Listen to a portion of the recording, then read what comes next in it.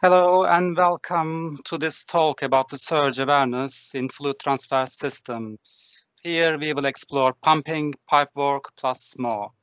We are expecting a great turnout today, so I'm hoping more people will join us soon. The webinar is being recorded actually, and uh, it will be made available later along with the presentation slides. I am Murat Islam, a member of the Process Industries Division Northwestern Center, and I will be managing this event and the Q&A session at the end.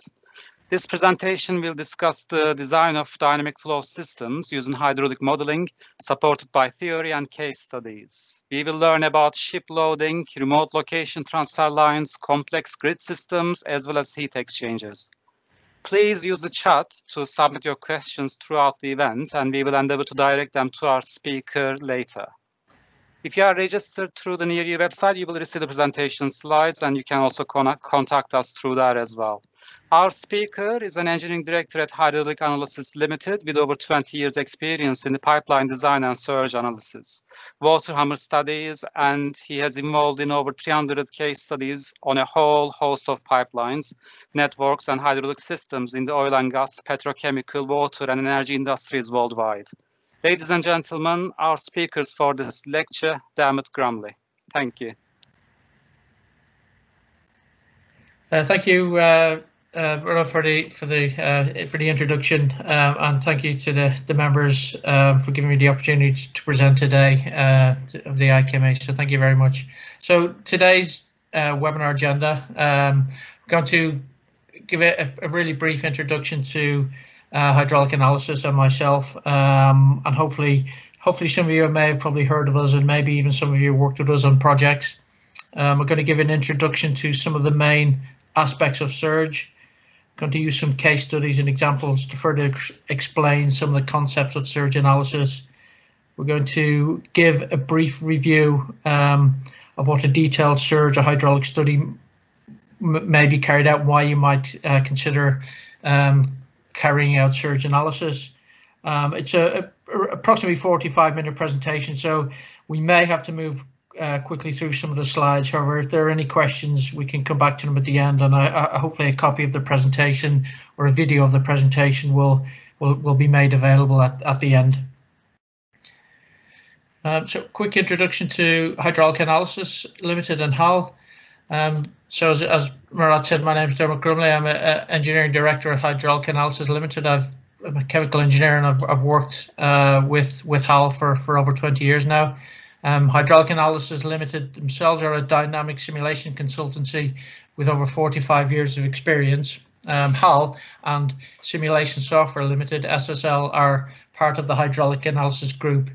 So SSL um, are uh, the the arm of the company that are uh, um, that that are used to to to develop the software. Um, and the software we, we use is, is called VeriSim, um, and it's also used for real-time uh, world for optimization and leak detection. So hydraulic analysis, it's a, we're the world's leading pipeline hydraulic and surge consultancy. Um, and we've carried out well over 10,000 steady and unsteady flows uh, studies on pipelines um, all over the world. Um, our team is made up of over 30 engineers and we've got offices at five locations. Um, and we, yeah, we've got, we operate in over 50 countries and have an in-depth knowledge of experience of, of various, uh, various different industries. The, the main capabilities really are steady state modeling, surge and transient analysis, site monitoring and troubleshooting, leak detection, and real-time systems. So there's a, this is a, a, brief overview of, of our of our services that we offer in within the site services, desk-based services, training services, and innovation services. I'm not going to go into this in too much detail, but they they will be available on the slides uh, if if anybody wants to to have a look at what what we offer. So we're going to the main reason for um, for for talking today is really to give an introduction to to surge analysis. So what is surge? So surge is a, a rapid change in fluid flow that leads to high or low pressures um, within a system, and this can lead to significant piping forces. Surge is typically generated during a, a shutdown or a startup event within a system. Uh, the reason why you might carry out a surge analysis is it, it allows the prediction of, of high and low pressures and, and piping forces within a system. It can eliminate costly problems before construction and it can identify reasons for damage or operating problems and, and is very it's a very powerful tool to, dem to demonstrate solutions and, and, and come up with uh, with remedial actions. Um, surge analysis is is um, is, is one of those activities where it's, it's very easy for us to, to demonstrate the impact of it. And we've got a whole host of, of pictures of, of uh, pipeline ruptures. Um, let's just flick through a few of those there. We've got a whole host of examples of, of, of pipelines coming off their supports due to transient effects. Um, we've got uh, small pipeline uh, leakages due to movement at, at T at T locations. We've got ruptures of pipes on uh, on on riser pipes and on platforms. So we've got a whole host of different uh, good examples of, of where surge um, can be a problem. You, can see here we've got other pictures of, of valves failing during a, a, closure event.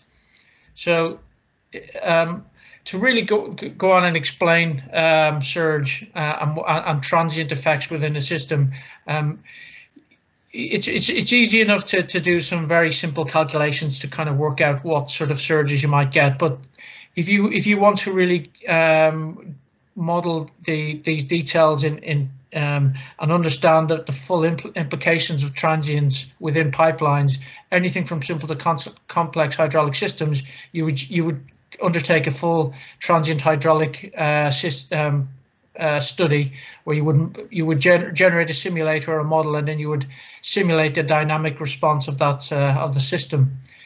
The software uh, you would use should ideally accommodate the effects of variable wave speed and variable product properties. Um, our our uh, our software uh, generally does use the method of characteristics, and there is a so other software available that that would use other methods. However, the method of characteristics um, is is seen as the the the, the most accurate um, software tool, and it's used to calculate transient behavior within a method of solving partial differential equations. In the model, the pipeline is broken down into a number of discrete calculation points where the distance between all the calculation points on the pipeline will be fixed. Now, I don't want to go into this in too much detail because there's there's, there's people who have spent years researching this, but um, it, it's just an example of, of the sort of grids that are put together and the complexity of the models that that uh, that that that can be can be simulated. Surge in surge terms, uh, surge is generated or is a short-term pressure change caused by a rapid velocity change. So the magnitude of a change is, is generally proportional to, to velocity change. So a good example or a good rule of thumb really is that if you have a, a one meter per second change in water uh, in, in, water velocity, you could potentially generate up to 10 bar uh, rise in pressure. Um, these dynamic pressures uh, changes are called surge pressures uh, or water hammer due to the the, uh, the, the sound you can sometimes hear when when pressure uh, travels up and down systems. Um, so the primary causes of surge are anything from valve closures to pump startups, pump shutdowns, uh, or, or even air valve operation. So we, it's, it's, we can't really talk about surge unless we talk about uh, the, Joukowsky, the, the Joukowsky equation, which is really the cornerstone of, of, of surge calculation and it's the cornerstone of what we use within our within our software package. So generally speaking, the the, the, the pressure change in meters um, is is a is a result of the velocity change within your within your fluid multiplied by your wave speed over a gravitational constant. Now the two important factors here are the velocity change and the wave speed, which we'll cover uh, next. So the, the wave speed itself uh, has four main components. Um, it's the effective density of the fluid, the liquid compressibility, uh, the pipe distension, but also the free bubble content. Um, so one of the important factors um, which you need to consider when you're using a, a software tool is is whether it's a, a, fixed wave speed calculator or a variable wave speed calculator. Now within our within our software we we use a, a variable wave speed platform, and that means that your your, your actual bubble content within the, the fluid will change um, as your pressure changes within the system. Um, some software packages use a, a, fixed wave speed approach, um, which can be a little bit more conservative. Um, however, we, we, we feel that um, actually modeling the uh, the variable wave speed aspect of, of the, the calculation is, is important. So just give you a, a really brief uh, uh, idea of what will what, what the, the percentage of retained air within the system does based on pressure. You can see that the with a zero percent uh, retained air within your liquid, you you have a wave speed of approximately 1400 meters per second, and as you you increase your percentage um, uh, retained air within the in the liquid, your wave speed drops, and that's important when you when you come to looking at the hydraulic aspects of the system. So if we were modeling a fixed wave speed approach, the although the operating pressure within this simple pipeline would change, um, your wave speed would stay the same. However, within our using very Verisim within a, a, a variable wave speed calculator, your, your wave speed would be higher at B because of your, your higher uh, operating pressure um, than it would be at C. And that will impact on the hydraulic response of the system. So that's just a, a summary of that graph, which states that during steady pumping, your wave speed at at B will be the will be the highest um, because your your free gas content will vary with pressure. Um, and therefore your Joukowski's equation is valid at any moment in time at any location al along the pipeline. But using a variable wave speed um, will will give you a more accurate uh, representation of of your hydraulic response within the system. Um, another important factor to, to bear in mind is, is to understand the hydraulic response of the system is to understand how long it takes your, your wave to travel from one end of the system to another and that's some and that's known as pipe period. So a pipe period um, is a function of the wave speed and the pipe length within the system. So in this case, it's two times the, the length of the system over your wave speed will give you an idea of how long it takes a pressure wave to travel from one end of the system to another. So you can already kind of understand that employing a, a variable wave speed um, simulator will allow you to, to give, give, give yourselves a better um, uh, feel for the actual correct uh, wave reflection time that will will occur within your system. Um, it's really critical in understanding that the, the system responds. Um, if a surge event occurs within a time a, a, time period shorter than the pipe period, then it is considered to be to be considered as instantaneous. So a very fast acting valve, if it closes um, over the, the within a, a pipe period, it's said to be instantaneous. So I'm going to just use it next few slides just to, to really give you a, a basic uh, feel for what happens when you, you close a valve. So in this, this um, simple example, we've got a reservoir with a pipeline uh, traveling at a certain velocity. Um, and at t is equal to zero seconds, that valve closes instantaneously and we get a surge pressure rise um, as a result of your Joukowski uh, rise and that surge pressure rise then will, will begin to travel back through the pipeline at your wave speed. So here you can see that the, the wave has gone from the closed valve, traveling back through the pipeline, has gone three quarters of the way back through the pipeline, and you can see that your, your Joukowski surge pressure rise as a result of your wave speed, um, uh, which is proportional to the velocity that you're bringing to rest. This is your, your wave, which is reflected then at one and a half times after the valve closure. It's reflected back off the, the reservoir um, and your, your, the, the, the speed at which the wave continues to travel is, is again, is based on the wave speed. And when it, after, so that, that T is equal to 2.225 times your, your length is past one pipe period. So it's gone from the closed valve to your reservoir and back to the closed valve. Um, and so that is your instantaneous closure. And then the subsequent surge pressure uh, wave that travels will, will be a reduction on the initial operating condition. And this is the, the, the transient or pressure profile that you would generally see. You can see the HAL squiggle, which we, we, we know it as. And you can see you've got a generally you've got a, a surge pressure rise following a, a closure event followed by the, the down surge as it as the wave uh, passes through the system. So during a typical surge event, if you wanted to use it as a rule of thumb to kind of get a feel for what sort of uh, change in pressure you might get by bringing a certain velocity to rest. You might take, uh, you might look at an instantaneous closure where um, and use this equation to estimate your your your your um, your, your rise in pressure. However, there is there is a um, the, closure will be less severe when you're talking about an instant or a partial closure of the valve because it's closing over longer than your your um, your, your pipe period. So therefore, you can use that equation to to give you a better estimate. Um, and then extended linear closures over longer than two times your your your length or your pipe period, then you can use this equation to give yourself a, a, a rule of thumb calculation. Now, to go to um, go on to um, some case studies, which will hopefully give give some sort of working examples of of typical uh, surge aspects. And I'm going to use uh, ship loading systems to talk about surge pressures due to valve closures rapid pressure transients due to pump trips, and why pipe support design uh, is important. So we would typically look at ship loading systems um, and, and what they do, they generally transfer pipelines to and from uh, storage to, to ships via road, rail or pipelines. Um, these sort of systems uh, are variety type uh, in, in all sorts of different shapes and sizes and you're looking at small systems through small jetties to to long distance uh, hoses uh, um, connected to buoys, to ship to uh, ship to ship links, uh, to long distance jetties that uh, are, you know, are kilometers long and, and, and lend themselves to to typical surge events.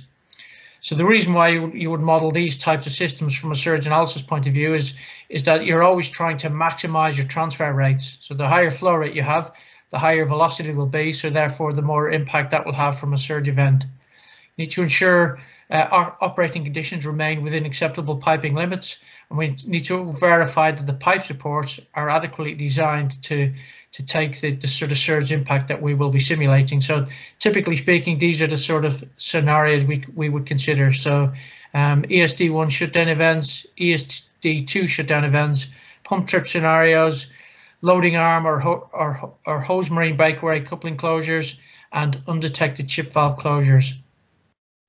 So I'm going to use a, a, a, a loading system that we've looked at uh, over many years, and it's quite a, a large large system um, now that looks at transferring uh, LNG in this scenario from um, from storage tanks through dual loading lines to ships um, through a, a, series of of, uh, of, of jetty pipework. Um, what we're going to look at from the scenario is, is, how the system operates when we're closing the ship valve. So it's one of the, the well, one of the vital cases that we use from a design point of view because closing the ship valve will bring your flow to rest over a, a quick period of time. So when you look at a valve closure event, um, as we've seen before, when you close your valve, you will get a surge pressure rise on the upstream side of the system but um, consequently you will also get a subsequent down pressure rise on the downstream side of the system. Um, I've got a, a, model here of this particular system um, and in order to protect surge here from a valve closure event, we we were requested to design the, the, pressure relief system. But this this initial scenario I'm going to show you is is the impact of closing uh, the ship valve against the full loading flow rate. Um, and you can see on the right hand side, I've got a, a chart showing the um, the stroke position of a ship valve that will now begin to close. As that closes, it's bringing the, the loading velocity to rest, which is the red line. You can see the red line is starting to close, uh, starting to decay as a result of the closing valve and the resultant surge pressure rise immediately upstream of the valve is rising uh, proportional to that drop in velocity. You can see there we've we've closed the valve. Our surge pressure rise, um, in this case, uh, rises to just below 30 bar. Now, one of the interesting features of a, of a loading system of, of this sort of nature is that the, the onshore pipework um, will probably, in this case, I think was rated to 30 bar, but one of the, the limitations on these types of systems is the ship. We don't always know what sort of pipe uh, rating the pipework on the ship will have. Um, therefore, uh, it's likely to be class 150. Um, so therefore, it's it's rated to a, a lower uh, level than the rest of the system. So in this undetected ship valve closure scenario, we're, we're really protecting this area here, which is the ship pipework um, during this event. If, if we're rated to class 150 on uh, rating on the ship, you can see our surge pressure rising up to close to 30 bar will be. So the, the client in this instance um, asked us to come up with a solution to protect the the, uh, the system from a ship valve closure, um, and they've employed uh, a series of pressure relief valves that will open on rising pressure to limit the surge pressure rise. So on the next slide, I'm just going to demonstrate the impact of of the PSV in operation for the same scenario. So you can see again the valves closing, we're bringing the flow rate to rest. You're going to see the, the resultant surge pressure rise, but what we will see this time is that the the, the, pressure relief valves will open on rising pressure, will divert flow away from the system. So in other words, we're we're bringing the valve to rest against a, a, a lesser flow rate. Oh, apologies, I, I started the wrong video there. Just bear with me one second. So this is the scenario where the PSVs will, will operate. So we've got the valve closing.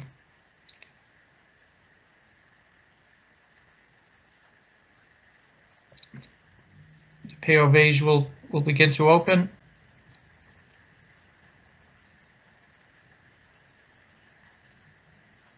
You can see there the POVs are opening, relieving flow, taking flow away from the system, and and your surge pressure rising. Previously, without the uh, without the relief, we are seeing 30 odd bar at the ship. Now we're bringing we're bringing surge pressures below 20 bar. So, so the, the, the surge, surge analysis in this sort of situation was was required because of the the, the, calculations that we need to to um, to look at um, and sizing of the PSVs. Another scenario here we consider is a, is a, is a pump trip. During a pump trips, sorry, this is the this is a good example of a of a, a, a system that um, ruptured during a, a, ship closure event. So you can see there we're, we're loading through a loading arm onto a ship um, and the captain will cl close the ship in this instance. Um, I think in this particular scenario, the, the ship uh, valve was quite a, a, a severe closure uh, event and that generated, I'm going to play that video again, that generated a surge that caused a rupture on the ship. So it's a good example of, of why surge analysis is, is very important. So using a, the same um, the same uh, example, uh, same system as a case study, uh, pump trips, um, even though they don't necessarily generate significant high pressures um, in the downstream system, what does happen within pump trips is we get a rapid decay in pressure through the system. Now that low pressure surge, which I'm going to demonstrate here, travels through the system and even though we don't we're not exceeding any maximum uh, design pressure rating of the pipework the change in in pressure um, lends itself to um, out of balance piping forces. Um, so you can see there we've a trip trip the trip in the pump causes the, the rapid decay of two to three bar over a very short period of time within the system and that low pressure wave will travel through the pipework. Now if that pipework isn't um, sufficiently supported, then you may well get pipe movement due to the, the, the, resultant forces that are generated in the piping. So one of the outputs of a surge analysis is to is to provide the detailed out of balance forces uh, that we will see at every change in direction within the piping. Um, and so you will want you will need to make sure that the, the piping is supported to withstand the sort of transient impact that we're going to see on this sort of system. So I've got loads of examples of of, uh, of of systems that we've worked on where um, pipe movement uh, was was seen as a result of, of a transient event. In this particular example, this is your your loading line, and that was sat up on your on the support, and that uh, moved off the supports during some transient event. Same there. You can see movement of pipe as an LNG system where we saw some movement of pipe work. So generally speaking, on loading systems or similars of this or systems of this type of of uh, um, of this type of size, um, you, you, would consider surge analysis if you are thinking about increasing the loading or unloading rates. uh, to ensure that the ESD shutdown events uh, actually protected the system. Um, to, if you were unsure of the of the characteristic of the valve uh, on your system, then you would carry out surge analysis to ensure that any type of valve that was we were using would be would be acceptable. If, particularly on this type of system, system, if there was no ship shore link, um, you would carry out a surge analysis.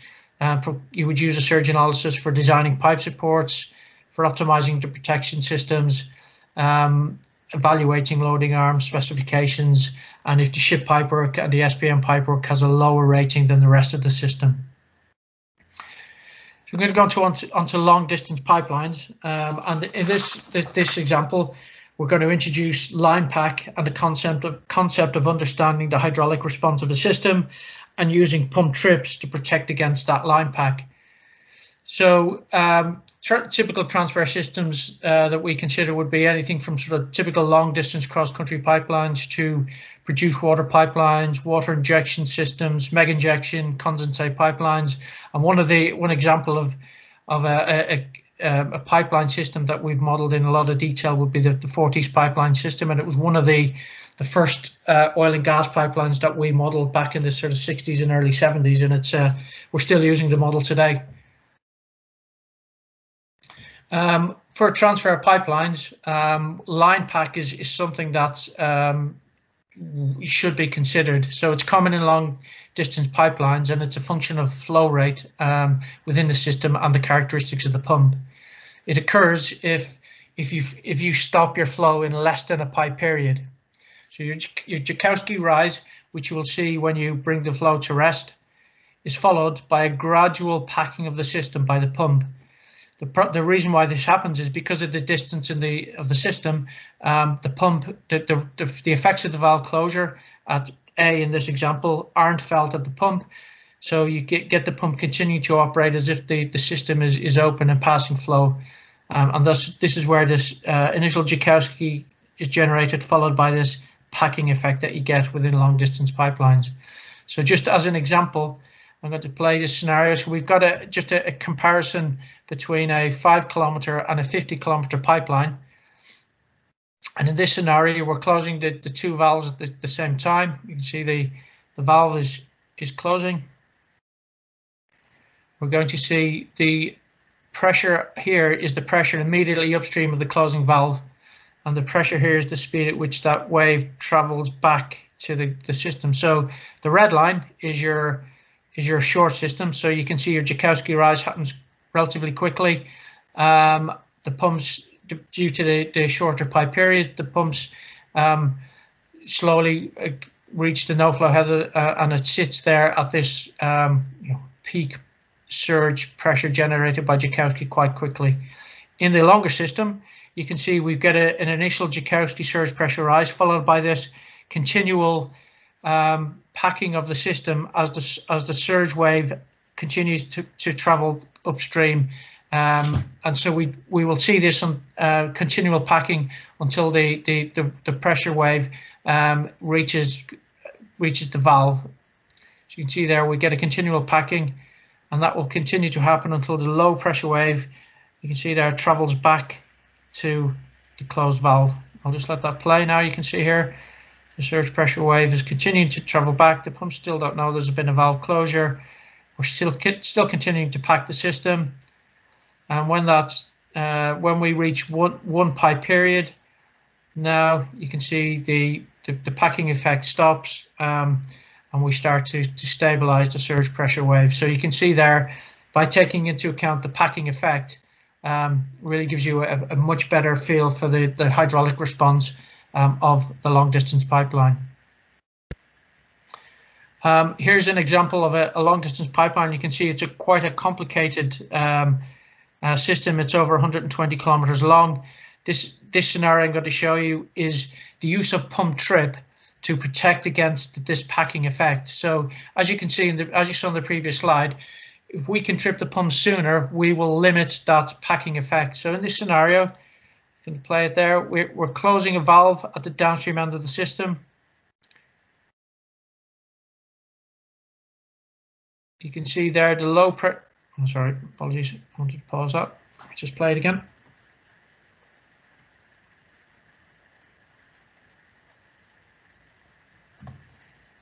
So in this scenario, we generate this uh, we, we closing, we're closing a valve at the downstream end of the system, and this generates a surge traveling upstream. Um, and what, uh, in order to protect against the line pack effect um, within the system, a pump trip was employed um, shortly after the isolation of the downstream system to to limit the continual uh, packing effect of the of the system. So therefore, the pump trips um, before uh, to a pipe period is seen. So you can see on the upstream side of the system, we're still getting some uh, packing effect here as this wave travels upstream. However, because we've we've tripped the pumps quite quickly, the low pressure wave is is is seen, and that will limit your your your your continual packing effect. If if we allowed, if we continue to allow the pump to pack this system, we would see the the line pack would would be would greatly exceed the peak pressures we were seeing here. So this is an example of the use of a pump trip to protect against line pack uh, within a long distance pipeline system. If if a pump trip is not acceptable due to maybe distance or or the fact that uh, you, you want to consider uh, an undetected closure on the downstream end of the system, um, other relief mechanisms such as a, a, a surge um, surge relief valve um, can be employed uh, immediately upstream of the, the, the closing uh, valve, particularly if your high pressure trips are ineffective. Um, these are high high high capacity relief valves, um, and you would undertake a surge analysis to to to uh, to optimize the size and the location of, of the of the relief valve required. So on, on these sort of typical transfer systems, um, you, you, you would carry out a surge analysis to really understand understand the hydraulic response of the pipeline. Uh, you would look at you would consider um, a surge analysis to evaluate the startup and shutdown procedures and specify pipeline isolation valves in terms of closure characteristics and closure rates. Um, a surge analysis is a, a, very good tool to optimize your protection systems, whether you are employing HIP systems, PSVs, or surge relief valves, um, the use of a, a, surge analysis is important to to really optimize the protection uh, mechanism. Um, one of the, the, the, good aspects of, of VariSim is, is, is evaluating pressure control within a system and, and, so, and we can model quite complex control loops um, which can be used to protect systems as well. And again, with, with most systems, designing pipeline supports um, is important. Um, I'm going to move on now to, to large water mains. Um, the reason why I'm talking about this is, is really to look at and introduce the impact of, of not just high pressures that we see within systems, but all, of also low pressure transients. Um, um and low pressure transients can be protected due to uh, using air valves um, and accumulators and surge vessels. Um, so this is a, a, typical undulating water main where we have various high points within a system. Um, and during a, a, a, pump trip event, you will the pressures within the sort of system will drop quite quickly. Now, within water mains, we, we need to be careful about dropping below certain thresholds because it, because if it's a potable potable water system, anything below any pressures below subatmospheric within that pipeline uh, can potentially draw or ingress air and impurities into the pipeline. So we need to make sure that um, um, air valves uh, are, are, are used to maintain minimum pressures within the system. And move quickly on, but air valves will open when, when pressures um, within the system fall below subatmospheric conditions. Um, so here's an example of a, a, pipeline system where we, we've employed air valves. So we've got a, a pumping system here. Um, we're going to trip the pumps on the system and the pressure is going to quite quickly fall um, and we've got a minimum threshold here, so we want the, the valves to, to maintain um, close to atmospheric pressure. You can see there when we trip the pumps, the the pressure falls and the air valves at certain locations at these high points will open to prevent us seeing vacuum conditions within our pipeline. One of the important aspects of this one is we the air valves will need to be sized correctly uh, to allow sufficient air into the system, but also to to prevent um, secondary surge impact. Now I'm going to continue playing this uh, video and you're going to see that we've protected against the minimum pressures, but what you're going to see is following subsequent pressure reflections and closures of the uh, of the air valves due to the the, the downstream uh, high pressure within the, the, the system, the air valves close and you see a secondary surge impact as those air valves slam closed. So that that's essentially happening because we're, we're generating a reverse hydraulic gradient. So we trip the pumps, a low pressure wave travels through the system. Um, when the low pressure wave reaches the, uh, the downstream reservoir, we generate quite quickly generate a reverse hydraulic gradient, which then pressurizes the system and, and, causes air to be vented quickly and the air valves slam closed. So what, one of the important aspects of a of a surge study is to ensure that the the sizing of these air valves protect against minimum pressures, but also that the venting capabilities are such that when we close these air valves and vent the system, we aren't causing secondary surge uh, impacts or events that are occurring. Um, another another way to protect these types of systems is with a, a, surge vessel. So I'm just going to show an example of a surge vessel of a system without a surge vessel. So this is a simple A to B main where we're going to generate quite a high reverse hydraulic gradient when we trip the pumps. So this is our hydraulic grade line. We trip the pumps, low pressure wave travels through the system. We fall to um, low levels. Because of the uh, the setup of the system, we get a reverse hydraulic gradient passing back through the system, and you can see that reverse velocity generates a secondary surge, which is quite high within the system, and it, it there's no dampening effect uh, here. And th those sort of pressures we see um, would be damage, damaging to the pipeline. So when we employ a, a, surge vessel, we would size a surge vessel to give us protection. That will be situated close to the pumping station. And when you trip the pumps, you see a far more dampened uh, low pressure surge that travels through the system. So that drops through the system and it will just quite nicely sit at that location there. So really the impact here is, and, and the, the, reason we'd carry a surge analysis here is to optimize the air valve design, size vessels within potable water systems and also optimizing check valves. So um, the last the last really bit, bit I want to, to go through, and conscious of time, so I'll, I'll go through this very quickly, is to uh, give you a very quick introduction to real-time models and where the future of transient analysis is heading. Um, really, real-time systems enables a, a, live picture of pressures and flows uh, and water sources at every location within the network to be observed, and it's very important, particularly if you're looking at uh, large, expansive systems.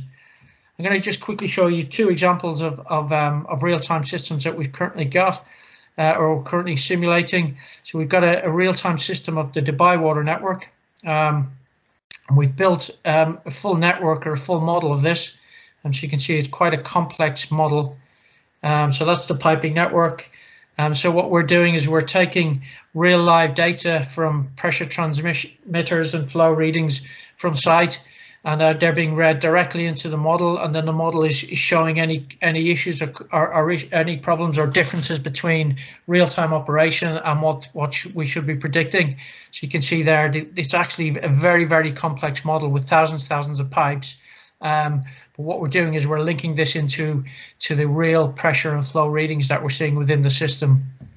Um, it, it allows us then to to generate heat maps and, and calibrate and show exactly how the, the network is modeling uh, or is, is operating. Another example of this is um, is a digital twin or, or a real-time system we have. Um, we've started modeling within uh, within some of the uh, district metered areas in in London. Um, so the, the, these are these are in some cases quite large areas um, and we will build a twin based on existing sort of GIS data that's available within the system. Um, this particular twin was we were trialed to investigate the, the high uh, historic leakage rates which reoccur within the system and try and get a feel for why we're seeing high pressures um, within the system and understand the impact of the, the pressure transients.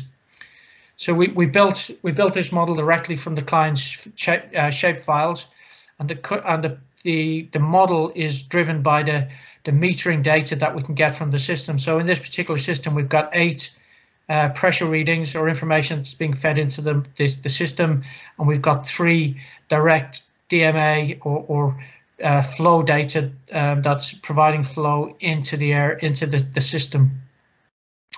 By putting together a digital twin, we can quite quickly uh, generate simulations of of flow demands um, at particular times, um, particular areas where we're seeing high demands at certain times within the system, uh, particular areas where we're seeing pressure transients and areas where we're seeing high pressure tra transients. So this really gives gives our client a really good visual display of exactly what's happening within their within their system. Beforehand, they only had an idea of, of, of how the system was operating based on our eight pressure loggers. Now we can show them exactly what's happening from a, a transient point of view um, and a steady state point of view throughout the uh, throughout the, uh, the a normal or typical day. Um, one of the interesting facts with this one is there was a, uh, a an area where there was large areas of leak, historical large areas of leakage, um, and, and, what the digital twin was able to to protect to show was it, it showed a, a, particular pressure transient that was occurring regularly um, as a result of, of uh, PRVs closing during a, um, a low demand scenario. And you can see we've simulated and shown exactly how that pressure transient transmits through the system.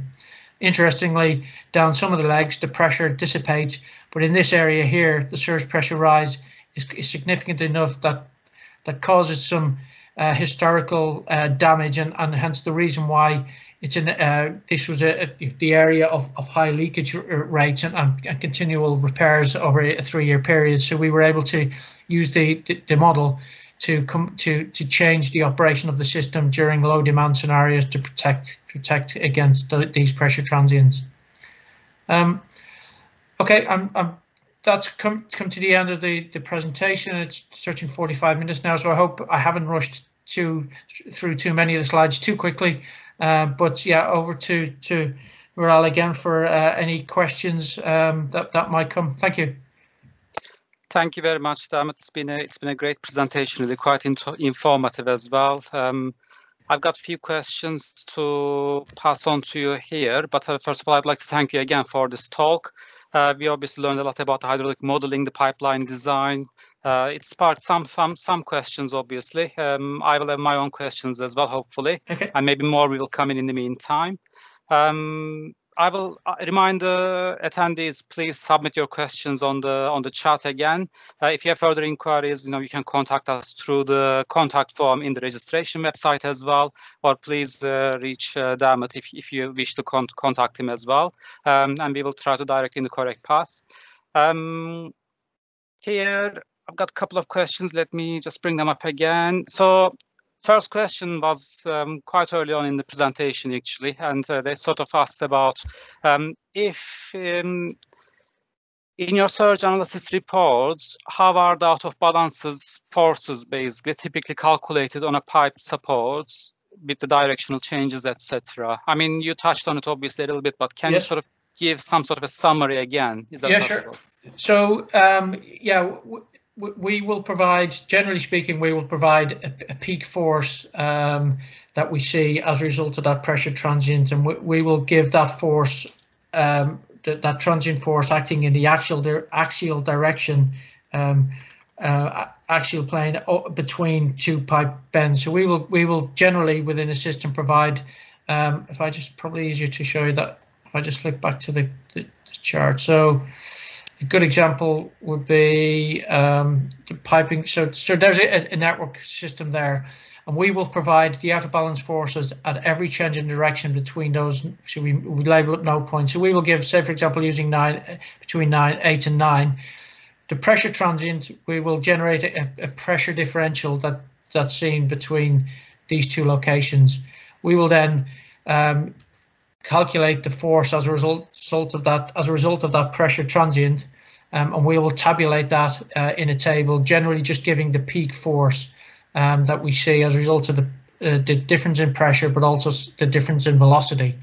Um, now we will give that as a, a, a maximum absolute value. However, if if the stress engineer um, wants more details, we can provide the, the force uh, as a as a as a force times history chart, um, showing the maximum and minimums um, occurring over the, the time frame. Um, or we can provide it in whatever format is required. But generally speaking, we will provide uh, uh, out of balance the, the, the isometrics annotated like that, and we provide a resultant table giving the peak force being generated uh, between each each set of nodes. Excellent, thank But you. if, if any more, if, if there's any more details or, or examples of that is required, then yeah, just drop me an email and I've got plenty of examples I can kind of demonstrate uh, how we normally approach uh, providing piping forces. Perfect, um, thank you very much. Uh, some more questions also coming in. Um, another question, um, during pump trip scenarios, how do you account for potential high point vapor cavity formation and closure? So, uh, uh, so our our software. Um, uh, sorry, I'll just look to the end. So our, our software will um, we will calculate um, one true vapor point within the model. So if if we trip the pumps, uh, particularly in something like an LNG system that's got uh, you know it's a pure fluid and's got you know one close to uh, a, a single um, vapor point, we will generate a vapor cavity will form um, at that location within the model. Um, and then when we pressurize the system, driven by the, um, the the velocity change between the interface of the liquid and the vapor, as that as that collapses, it will generate uh, a, a rapidly um, applied surge pressure local to where the vapor is collapsing. Um, so we, we will simulate that and, and the resultant rate of change in pressure from a vapor collapse uh, incident. Um, we can we can generate the surge pressure, but also the, the piping force results in piping force. So our model will take a conservative approach to modeling vapor um, using a you know a single vapor point within within the, the simulator. Okay, thank you. Thank you again, Dermot. One more question here. What is the minimum length of pipe work required to see line pack? Um, it uh, it that depends on the pipe period. So that's it. The uh, that's understood. That's where you would kind of start to, to sit down and look at the, the the the impact of a valve closure and how long it takes for the for the the waves to go from one end to the other. So if a if a valve closes over um, longer than one pipe period, then line pack generally won't be as it won't be an issue. But anything under under one one pipe period, then you will start to see some some impact of line pack because the pump because the valve will close uh, before the wave travels back to the the valve. So it it there's no it's it's a difficult question to answer because there's no true length or, or any particular length you would you would use because it depends on how quick your valve closes. But generally speaking, uh, if a valve is instantaneous, you will see some sort of line pack, um, and the the impact of line pack will depend on how long your system is. So, I mean, in that case, do we always need a hydraulic analysis uh, for our systems, or is there any other simple maybe guidelines to use without the need for a very detailed analysis like the ones you are providing? Yeah, so, so you, you you would do a, a Joukowsky equation, um, uh, but but it, just to kind of get a feel for for the initial surge pressure pressure rise. Um, um, but it, yeah, that's it. There's there's no real rule of thumb to say anything over maybe you any short systems generally you, you would you would think would be okay from a surge point of view. The longer the system becomes, maybe anything over 500 meters, then you would start to to think about um, looking at at a, a, a more detailed calculation. Okay, as a rough guide, that's that's Yes. great as well. Um, I haven't got uh, more questions here, um, so I'd like to thank you again for for your presentation. Um, oh, just a new one coming in. Um, if I can hide this, I'll be able to read it out. In designing pipe supports for out of balance forces, it seems the peak force is important, but also duration to select a suitable dynamic load factor. Is this something HAL are involved in, or is that uh, then handed over to the pipe designers?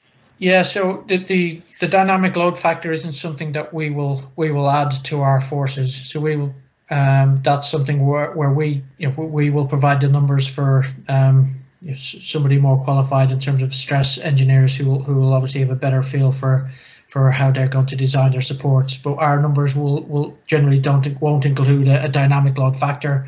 Um, and as as I said before, we can depending on the requirement uh, of the stress engineers and how detailed they want to undertake their analysis, we would either provide just a, a maximum force, or we can provide the, the force times histories to show the rate of, of force rise um, or the, the, rate of change of, uh, of, that force within the system if a more detailed uh, stress analysis needed to be undertaken. But generally speaking, no, we, we will just give the, the, the, true numbers or the bare numbers, if you like, as a result of the pressure change and, veloc and velocity differential. And then a, a, a dynamic load factor will come into play, I guess, during the, the stress calculations. Excellent. Thank you again. Um, some, one more question here. Has anyone, either HAL or others in this uh, webinar, had any experience of assessing uncontrolled pump ramp up or ramp down? For example, variable speed drive failure, and so result in surge pressures from sudden acceleration or deceleration of the fluid? Um, true. Yes, we, we, we will have done some, some generally uh, run down is, is is, is easier to simulate because you can you can kind of um, take into account the, um, the the rate at which the the the speed of the pump will decay. Um, so yes, we, we have we have looked at uh, shut down ramp up. Um, it, it, it's a little bit more difficult to to to simulate. Um, however, we can yes we we we, we can model um, the, the the ramping up of a pump over a very very short period of time um, to to simulate the the transient impact that that will have on the downstream system. Um, so yeah, that I, I guess you know, there's there's there's limitations in terms of how quick that pump will will run up based on the on the motor itself. Um, but uh, yeah, that's something that uh, yeah that, that we we yeah we, we can simulate and have simulated in the past. Excellent. Thank you, Dermot. I mean, I'm not an expert in these things, so I can't really add much to the conversation. So apologies for this. But again, um, if, if if anybody has more questions or I haven't answered them, um, or they want a bit, a little bit more detail, just drop me an email, and I, I can hopefully be able to provide more examples or or, or different yeah, situations that we've we've maybe simulated in the past. Thank you, Dermot. Uh, we have a few minutes and one last question probably yes. is, um, do you have any recommendations or rule of rule of thumb for considering if detailed analysis is required for dry riser pump applications? Uh, so yeah, we, we simulate dry riser applications in probably one of the most prevalent will be a, a, a seawater lift pump or a fire water lift pump. And we do look at them from sort of in the water uh, industry with boreholes and things, but generally speaking, there's no rule of thumb. I would, yeah, I would say that any anywhere where you're priming a dry riser, um, there's there's going to be a rapid change in in, in flow and pressure quite quickly. Um, so, from a surge point of view, yeah, it's important that you would consider a, a surge analysis, but he, he also from a a, a a, piping supports point of view because you're getting such uh, rapid changes in, in in pressures. So I would generally, generally speaking, anywhere where you're looking at uh, priming dry risers, you would consider uh, doing some sort of slightly more detailed surge analysis. Okay, okay, thank you very much. Um, no more questions here, and time is also approaching to half past as well. Um, I will also remind people I will eventually send all registrants the PDF of the slides. I will also ask you to fill in an online uh, digital feedback form if you don't mind. Uh, that would really help us develop our events and make them better for you as well. Um, and I'd like to thank Dermot again. Thank you so much. If everybody wants to mute themselves and give Dermot a round of applause, that would be really appreciated as well. Thank you.